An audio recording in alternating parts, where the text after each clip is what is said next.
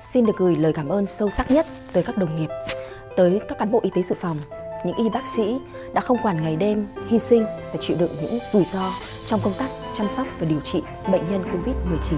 Tất cả các cấp chính quyền, lực lượng chức năng đã làm việc liên tục không mệt mỏi để ngăn chặn sự lây lan của virus. Xin gửi lời cảm ơn tới tất cả những người bạn của chúng ta trong công việc truyền thông đã đưa tin về Covid-19 và góp phần truyền đi những thông tin chính xác kịp thời tới cộng đồng. Xin được gửi lời cảm ơn tới các anh chị bảo vệ đã kiên nhẫn trước những phản ứng không hợp tác của những người không muốn sát khuẩn tay hoặc không muốn kiểm tra thân nhiệt trước khi vào các tòa nhà. Tất cả các nhân viên vệ sinh đã ngày đêm làm việc để đảm bảo các bệnh viện, nơi làm việc, khu vui chơi và chỗ ở của chúng ta luôn được sạch sẽ.